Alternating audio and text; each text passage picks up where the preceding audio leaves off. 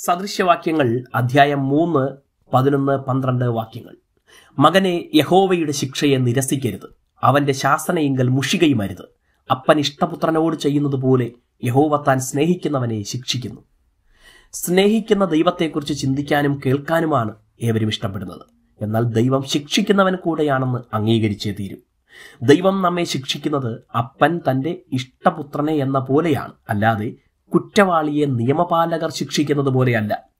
ഇന്നത്തെ അപ്പൻ മകനെ എന്ന പോലെയുള്ള ഈ ശിക്ഷ നിരസിക്കുകയും അതിൽ മുഷിയുകയും ചെയ്താൽ പിന്നീട് ന്യായാധിപനായി കുറ്റവാളിയെ എന്ന പോലെ ദൈവത്തിന് ശിക്ഷിക്കാതിരിക്കാനാവില്ല. അതൊരിക്കലും വിമോചനമില്ലാത്ത നരകത്തീയിലായിരിക്കും.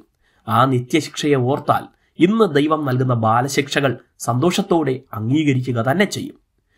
ആഡം ക്ലാർക്ക് എഴുതുന്നു മസാർ എന്ന വാക്കിന് തിരുത്തൽ ശാസനം പരിശീലനം എന്നീ അർത്ഥങ്ങളുണ്ട്. ഒരു മനുഷ്യന് പോകേണ്ട വഴി കാണിക്കാനായി അടിസ്ഥാനപരമായി ഉപദേശം ആവശ്യമുണ്ട്. ആ ഉപദേശം ഫലപ്രദമാക്കാൻ ശാസന ആവശ്യമാണ്. മനസ്സിനെ കീഴ്പ്പെടുത്തുന്നതിന് തിരുത്തൽ പലപ്പോഴും ആവശ്യമാണ്. അതില്ലാതെ അതിന് അറിവ് നേടാൻ കഴിയില്ല.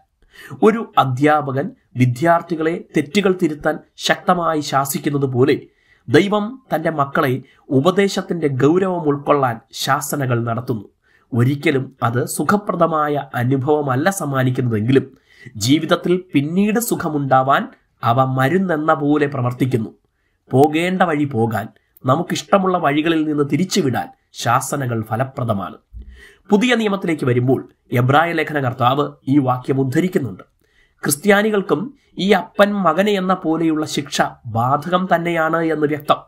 ദൈവിക ശിക്ഷകൾ പല രീതികളിൽ സംഭവിക്കാം. ഹൃദയത്തിൽ പരിശുദ്ധാത്മാവ് നൽകുന്ന ശക്തമായ ഇടപെടലാകാം.